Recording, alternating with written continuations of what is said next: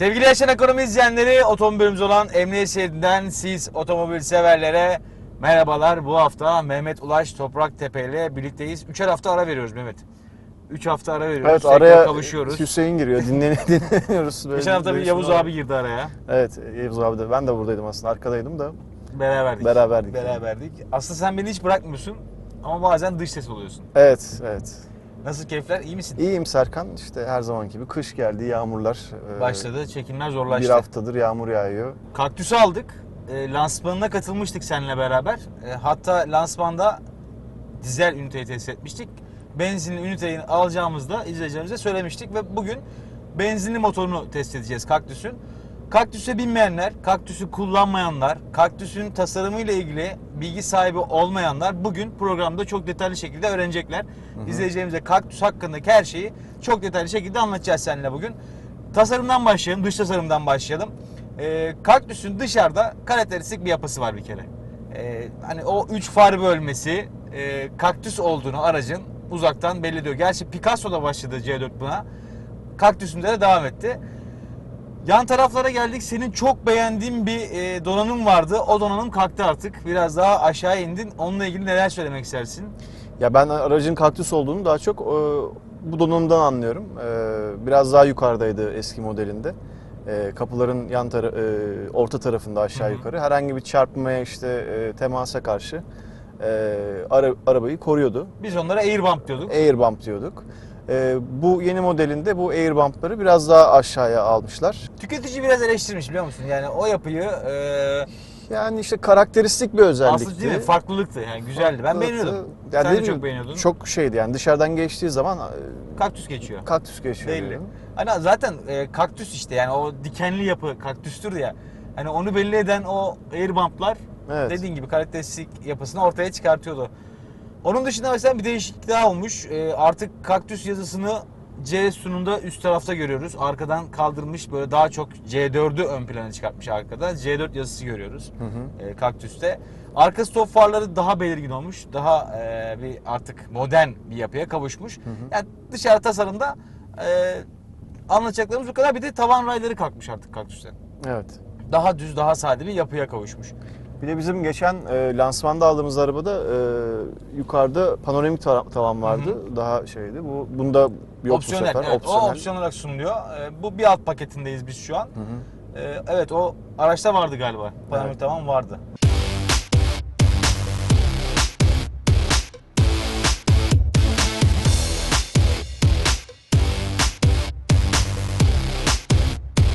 İçeriye gelelim.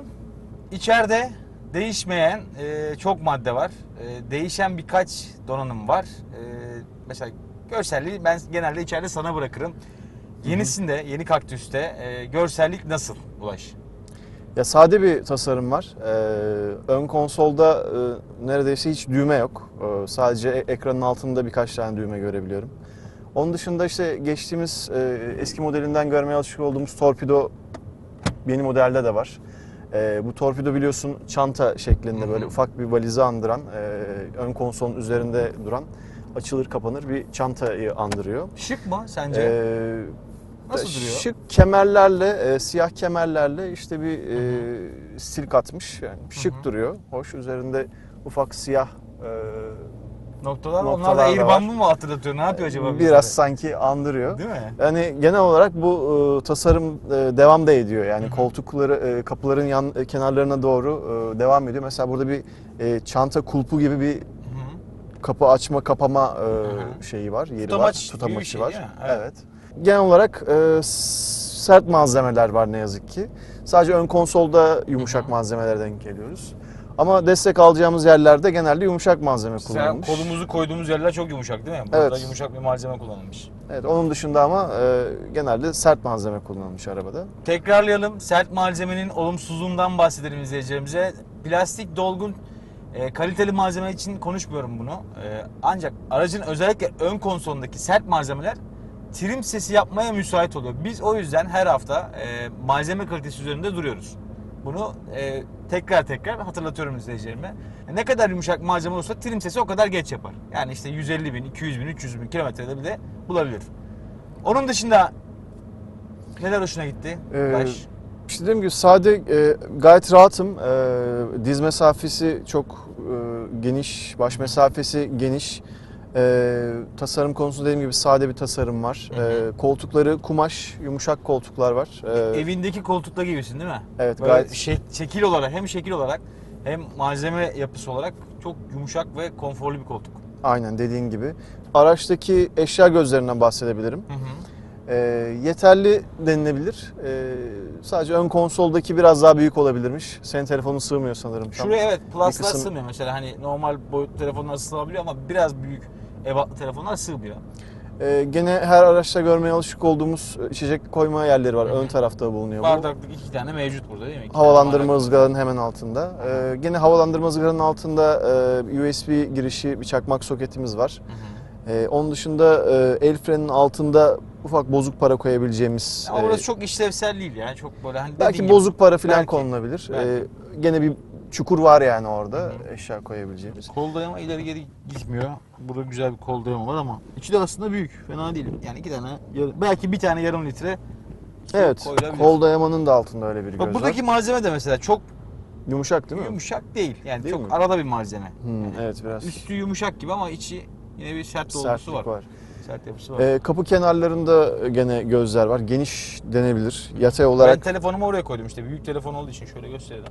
Yani şu telefonu evet. yani şuraya sığdırmadım mesela yani. Yani bir buçuk litrelik suyu rahat bir şekilde alır yan taraftaki Kollar evet, şeyler. Yatay olarak alır. Ve eşya gözleri de böyle. Burada bir alan var. Gene to- torpidonun alt Yani tarafında. orası da işte yine dediğim gibi çok işlevsel bir alan değil. Ne koyabilirsin mesela oraya? Yani Yani belki daha ufak bir telefon konulabilir. belki orada oturan belki Ya, bir yer var. Ta- Tam Evet. olarak ne amaçla kullanılır onu ben şu an kestiremiyorum ama Bir eşya gözü daha mevcut. bir eşya gözü daha mevcut. Ee, abi. Bagaj biraz büyümüş eşya gözlemişken onu da hacime e, katalım. E, biraz daha büyümüş bagaj. Kaktüsteki bagaj kapasitesi artık e, bir tık geniş. Teknolojiden bahsedeyim ben. E, ortada yenilenen bir ekran var yeni kaktüste. Bunu lansmanında da e, söylemiştik. Bu ekranlar e, son dönem özellikle Fransız araçlarda çok karşımıza çıkıyor. Çok kullanışlı ekran. E, Birçok teknoloji bize sunabiliyor. Özellikle Apple CarPlay ve Android donanımlarına sahip olması yani yeni nesil uygulamalara sahip olması muhteşem bir avantaj. E, navigasyon standart olarak sunulmasa bile araçta mesela USB takıyorsun telefonunu bağlıyorsun hop haritanı ekran üzerinde görebiliyorsun. Böyle bir işlevselliği var. E, iyi bir teknoloji. Onun dışında ekran üzerinde mesela eleştirebileceğim unsurlar da var. Mesela klima e, ayarlarını komple dokunmatik olarak yapıyorsun ki bu e, yol güvenliğini biraz eksilere düşürebiliyor. Hani belki klimayı butonlar- sen ayrı istiyordun. Evet Ben evet manuel yani analog yapıyorum. buralardan kullanılabilse daha güzel daha mantıklı olur. Evet. Ee, tamamen dijital ekran üzerinde olması hakikaten gözümüzü yoldan almamıza neden olabiliyor. Tek eleştirdiğim konu. Bunu yıllardır eleştiriyoruz. Birkaç model düzeltti ancak e, Kaktüs'te hala bunu görebiliyoruz. Güvenlik donanımlarına bastık mesela. Neler var? Start stop var. E, bu yakıt tüketime daha fazla katkılar sağlıyor. Park yardım var. E, ön ve arka park sensörleri mevcut. Onun dışında tekerlek patinaj önleyici var ESP. Şu an devrede kapatabiliyorsun ancak zor koşullarda tekrar kendini e, otomatikman devreye sokuyor. Bu gibi güvenlik donanımları var. Eksik donanımlar var aslında. Bir üst paketinde e, daha fazla opsiyon olarak sunulan donanımları da görebiliyoruz. Bizim aracımızda bulunan donanımlar bunlar. Güvenlik donanımları. Yalıtım nasıl? Güzel. Ya benzinli bir araç. Hmm, Mesela motor sesi şimdi birazdan performans köşesinde biraz daha zorlayacağız aracı. O zaman tabii ki çok içeri ses alıyor mu almıyor mu daha iyi şey yapacağız ama mesela ortalama 60-70 km hızlarla geldik. Hı hı. Ee, nasıldı böyle çok seni rahatsız eden bir ses var mıydı? Yok gayet izolasyon. Başarılı değil mi? Başarılı. Yani bu, bu hızlarda başarılı. Evet. Zaten lansmanda da e, yalıtımın geliştirildiğini söylemişlerdi. Hı hı.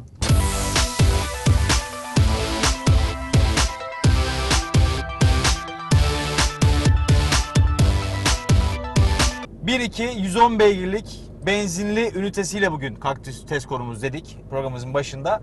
Ee, bu üniteyi aslında var ya sırf otomatik şanzıman için istedim. Çünkü E EAT6 benim en çok sevdiğim şanzımanlardan bir tanesidir. Ee, bunu diğer Fransız modellerde denedik. Çok başarılı performanslar elde ettik. Bakalım Kaktüs'te nasıl veriler verecek çok merak ediyordum hakikaten. Çünkü e, lansmanda dizel üniteyi test etmiştik biz. Orada bu şanzıman yoktu. Farklı bir şanzıman vardı. Evet. O biraz daha böyle sarsıntılı. Hani vites geçişlerinde sarsıntı yapan bir şanzımandı. EAT 6 e, son dönemde en çok beğendiğim şanzımanlardan biri. Şöyle biraz hem şanzıman performansını hem de motor performansını izleyicilerimize gösterelim. 3 silindirli bir motor. Bak o 3 silindir tınısı direkt devrede. Son dönemde birçok marka artık bu e, motoru kullanıyor 3 silindir motorlu ve hepsinde hemen hemen hepsinde bu ses, bu tını var. Kulağa biraz hoş geliyor. Tabi çok yüksek hızlarla tırmalayabilir de kulağı.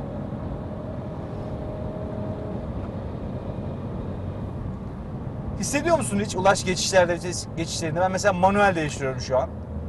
Ya açıkçası ben e, daha çok izolasyon ya- ses yalıtımına ve Biraz almaya motor başladı. motor sesine e, takılmış durumdayım. E, ama performansa diyecek yok tabii ki yani. Geçişlerde çok büyük bir sarsıntı yok. Rahatım gayet. Değil mi? Bak mesela Ki- vites attım şu an en ufak bir sarsıntı yapmadım. Evet. Düşürüyorum. Tork var. Tork gücünü hissediyorsun. Onun dışında tümsek var. Sana tümsek yapmışlar Serkan. Aynen tümsek var. Tümsek yapmışlar burada da. Bak arttırıyorum. Tekrar arttırdım. Ben bile yani söylemesem, elimle böyle işlev yapmasam anlamayacağım geçip geçmediğini. Yüksek devirlerde motor sesi güzel, hoşuma gitti yani. 3 silindirli güzel bir motor sesi var Ba- değil mi? O bağırıyor yani o ciğer e, duyuluyor. Yalıtım dedin. Hafif rüzgar ve yol sesi alıyorum. Şu tek. yukarıdan alıyor değil mi? Bana aşağıdan geldi ama Bana teker şu- kısmından. Şu camların üstünden gibi tekerden de geliyor biraz evet. Bakalım biraz daha. Evet aşağıdan. Aşağıdan Aynen gibi aşağıdan. geldi. Lastiklerden gelen bir ses var yani buradan almıyormuş. Çok Evet, pardon. rüzgar değil de. Yani rüzgarsa da bilmiyorum o lastik. Ya Şu bölmeden geliyor daha çok sanki. Bu arada mesela 9.9 saniye bir sıfır yüzü var biliyor musun bu aracın? Yani çok da böyle hantal bir araç değil. Seri güzel de bir araç. O motor sesi de böyle bir agresiflik katmıyor değil yani insana. Tabii tabii onu diyorum ya bayağı agresif bir motor ses, ses çıkarıyor motor. Yolu da güzel tutuyor. Fena değil. Bir de şöyle bir şey söyleyeyim. Bu araç SUV yani kompakt e, crossover'dı. Artık hatchback klasöründe satılacak. Hmm, yüksek bir araç Hatırlıyor musun? yani. Onda lansmanda belirtmişlerdi şaşırmıştık. Evet. Dedik bu araç nasıl hatchback olur ya? Crossover'dan nasıl hatchback platformuna dönebilir falan. E, boyutlarıyla, e, platformuyla artık hatchback olarak satılacak bu araç. Sana ufak sürprizler koymuşlar yola. Evet ya kasisler. Programı sizi seyreden Belediye... Karayolları ekibi. Aynen. Ben motorla beraber, motor tınısıyla beraber o ara, bak ara gazlar da veriyor. Böyle geçişlerde şanzıman. Yani Dönüşler falan hakikaten. C4 abi C4'ün yol tutuşu gerçekten başarılıdır. Yani bütün C4 araçların. Bu araçta da aynı başarıyı gayet atik. değil mi? Atik atik. Tork falan Evet, da yüksek evet. yani. Hatta o yol mesela çok şey düz bir yoldaydı. Biraz rampa da vardı. Ona rağmen atik hareketler yapabiliyor. Tabi bunda pilotun da katkısı var ama yine Tabii de canım. araç da ciddi anlamda başarılı. Şanzıman geçişlerimiz başarılı. Şimdi e, izleyicilerimize tekrarlayalım bunları. E, denemelerimizin sonuçları nedir? Onları söyleyelim. En ufak bir sarsıntı hissetmiyoruz. E, tabii ki bunlar sürekli yenilenen şanzımanlar. Mesela yazılımlar geliyor. E, en ufak eksiklikler gideriliyor. Bu konuda firmalar çok artık daha hassas, e, daha duyarlı çalışıyor. Çünkü günümüz e, tüketicisine baktığı zaman otomatik üniteler daha çok tercih ediliyor. Otomatik şanzımanlar. O yüzden e, hani forumlarda çok okuruz otomatik şanzıman şu sorunu var şöyle yapıyor böyle yapıyor artık onu çok aza indirmeye başladı firmalar. EAT altta mesela şey gördü yazılım gördü daha çok geliştirdi ve bak gerçekten Evet senin hoşuna gitmiş bayağı. en Yüzü, ufak- yüzün gülüyor abi çünkü. en ufak bir sarsıntı yok ya. Yani manuel şu an ileri geri yapıyorum. evet. Tebrik ediyorum ya bu şanzımanı. Ben bu şanzımanı ilk 508'de kullanmıştım. O günden bu- bugüne e, Performans olarak geliştirdi de kendini. işler diyorsun. Gayet güzel, Peki şey hani oldu. benzin sarfiyatı açısından bir gelişim de var mı? Ya şimdi e, bakalım şöyle yol bilgisayarına. Bak agresif kullanmışız 20 kilometre bir 10 kilometresi sakindi bir 10 kilometrede agresif kullanmışız. 7.4 diyor 7.4. yani. Kötü mü? İyi, Ya fe- bir 10 Fabrika değerleri hakikaten diyor. böyle bir 4000 5000 devirleri gördük yani hani izleyici de görüyor agresif kullandık. Fabrika değerleri 6.3 diyor. 6.3. Şehir içi. Şehir dışı mesela 5'lere düşüyor. Karmada 5'lere düşüyor. Aynen. Bak uzun bir güzergah var 1671 kilometre 8.8 yapmışlar. Yani Ama Oo. işte sadece şehir içi mi şehir dışı çıkıldı mı bu araçta onu biz bilmiyoruz. Yani 1600 kilometrede öyle gösteriyor. O biraz yüksek bir değer. Araç kaç kilometrede? 200 20 binde. Yok 20 binde. 20 binde. Yani 2000 kilometrelik bir uzun mesafe yapın. Bak 7.2'ye düştü mesela bizim. Sakinleştik hemen 7.2'ye düştü. Fabrika verileri gerçeğe yakınlaşmaya başladı. O yüzden ben e, çok şey yapmayacağım. E, uçuk veriler vermeyeceğim. E, trafikte bu araçla şehir içi 7 litre, 6.5 litre bunları görebiliriz. Ama bunun altına düşmez ama. Çünkü benzinli otomatik Yani şanzıman. çok az değil, çok fazla, Fazla değil. değil. Ortalama, diyebiliriz yani. Ortalama aynen ortalama bir değer. Ulaş bu arada kasislerden mesela az önce zor fren yaptık, kasisi geç fark ettik, geçtik falan biraz hissettin mi? Kasisi hissettim Serkan ama tabii çok e, pataküte girmedik. Süspansiyonlar, koltuklar biraz sönümleme yaptı tabii. e, Harikasın. Çok güzel bir şey söyledin. Süspansiyonlar. Ee, burada adaptif süspansiyon var. Ee, yol şartını anında algılayan, e, zor koşullarda sana daha konfor sunan, e, agresif kullandığında sertleşen ve yol tutuşunu artlara e, çıkartan adaptif bir sistem var adaptif bir sistem var ve e, bunu zaten fark ettik. Hakikaten kasise çok böyle geç e, fren bastık yani çok yakın fren bastık. Orada bile kütür kütür yapmadı araba yani. Evet. Ve zaten koltuklar çok konforlu. E, o şeyi darbeleri çok çabuk sürümleyebiliyor. hı. Bununla beraber bu süspansiyonlar da konfora inanılmaz katkılar sağlıyor. Geri görüş kamerasını söyledik mi güvenlik donanımında? Söylemedik, söyleyelim. o da var. O da mevcut. Bu pakette standart olarak sunuluyor yani. Eksik şeyler var tabii Var. güvenlik açısından. Eksik donanımlar var tabii ki. Ee, bu göze çarpıyor. Özellikle güvenlik konusunda mesela şerit takip sistemi artık bu dönemde çoğu araçta var. Ee, Kaktüs'te de olabilirdi. Bu dönem yani bu donanımda standart olarak sunulabilirdi. Aynalarda ya da köşede görmeye alışık olduğumuz nokta, kör değil nokta mi? uyarıcı sistem de Olabilirdi. olabilirdi. Ama fena değil ya. C4 tüketicisi zaten böyle şeydir. Ee, aracın özellikle performansını çok beğenir. Hı hı. E, bununla beraber senin de benim de üzerinde durduğumuz gibi karakteristik özelliklerini beğenir. Mesela bu araçta hala devam ediyor. İşte çanta torpido, Hı hı. air bumplar. E, bunlar çok hoşuna gider C4 e, kullanıcısının. O yüzden aynı şekilde devam ediyor yani. Var mı eklemek istediğin bir şey var? Yok genel olarak hani toparlayabiliriz istiyorsan. Hani dış e, tasarımdan Tabii. e, iç tasarıma işte şanzımandan e, teknik özelliklerine. Değerlendirelim o zaman, toparlayalım. Mesela ben sana e, şöyle soru cevap şekilde e, birkaç şey soracağım. E, sen nasıl değerlendirirsin? Senin bu sefer gözünden alalım bu değerlendirme e, bölümümüzü. Dış tasarım bir önceki mi, şimdiki mi? Özellikle air bump'ları da katarak söylüyorum. E, tabii ki dış tasarımda bir takım e, yenilenmeler, e, güzelleştirmeler diyeyim artık var. E, ama işte air bump'ların aşağıya alınması e, genel olarak senin de söylediğin gibi Citroen e, C4 Cactus kullanıcılarını biraz e, üzmüş. E, ama tasarım olarak dışarıda da güzel e, hatlar gene mevcut. Başarılı. E, başarılı diyebiliriz. İçeriye geldik. Bu sade yapımı e, yoksa biraz daha böyle görsellik olabilir miydi? Nasıl yani sen otomobile bindiğin zaman biraz daha böyle hani şıkır şıkır böyle çok şey mi istersin, tuş mu istersin yoksa böyle sade bir yapım mı istersin? Araçta dediğimiz gibi sade bir tasarım var. Ee, düğmeler ve kontrol için kullanacağımız ekran ortada e, göstergeyi görüyoruz e, benzer şekilde gene.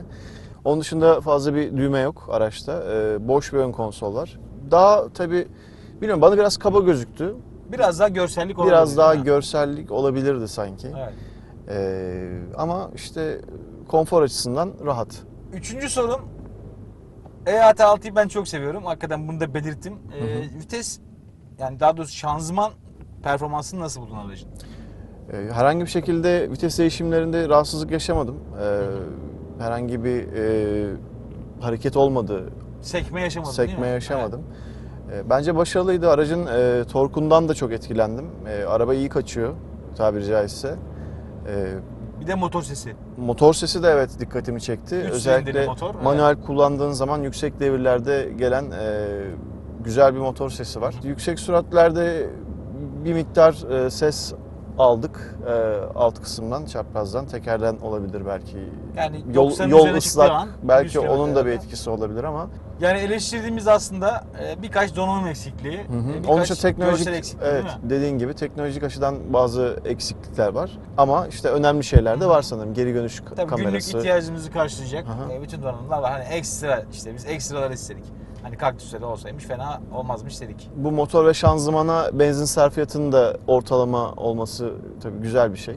Kesinlikle E EAT6 seri bir şanzıman benzinli bir ünite var. Buna rağmen ortalama işte 6,5-7 litre hatta 7,5 diyelim benzinli otomatik e, trafikte çok kullanırsak 7,5 lira çıkartabiliriz. Bu bile muazzam bir rakam yani. Hacim olarak da geniş, rahatım ön tarafta. Arka tarafta da oturduğumda e, diz mesafem fena değildi. Sınırdaydı ama e, baş mesafesi gene kurtarıyor. Hı hı. E, böyle sıralayabiliriz yani. hani. Bir değişen nokta da kaktüs kullanıcıları bilir. Ee, özellikle bu aracımızda. Hatırlar mısın? Şurada tuşlar vardı. D, R ve N. Üç Evet. tane yuvarlak tuş. Şanzıman tuşları oydu mesela. O çok kötüydü abi. Yani böyle elin vitese gidiyordu işte ne bileyim geri geleceğin vites arıyorsun. Oradan R'ye basmak bir anda aklına gelmiyor falan. Şimdi artık normal bir şanzıman kullanıyor. İkinci de- aslında bir değişmeyen önemli madde daha var. Mesela tüketicinin beğenmediği ama inatla kaktüsün o yapıda ısrar ettiği arka camlar kelebek. Açılmıyor biliyor musun? Kelebek açılıyor. Ya bu konuda ısrarcı kaktüs. Bilmiyorum hakikaten karakteristiğine bir artım katmak istiyor. Yani hani ben cidden karakteristik bir aracım. Devam ediyorum bu huyumdan vazgeçmeyeceğim mi diyor. Onu bilemiyorum ama ben arka camlardan şikayetçiyim. Buradan belirtmek istiyorum. Kelebek açılmasın abi yani. O cam açılsın. Çünkü e, geniş bir araç. E, O, o cam yetmiyor yani arkaya. O zaman teşekkür ediyorum. Ağzına sağlık. Ben teşekkür ederim. Özellikle değerlendirmelerin için teşekkür ediyorum. E, üstüne de imzamı atıyorum. Yani yardımcı olabildiysem ne mutlu. Eyvallah, tabii ki, Görebildiğim kadarıyla aktarmaya çalışıyorum. Sevgili izleyenler, C4 Kaktüs'ten aktaracaklarımız bu kadar. Ee, daha çok merak ettiğiniz konular olursa, kaktüsle ilgili şunu da anlatmadınız, şu konuda bize yardımcı olabilir misiniz diyorsanız, Ülke TV YouTube sayfamızda her hafta videolarımız yayınlanıyor. Onun altına yorumlarınızı ekleyebilirsiniz. Bizden bu haftalık bu kadar. Haftaya farklı bir araçla görüşünceye dek kendinize iyi bakın. Hoşçakalın.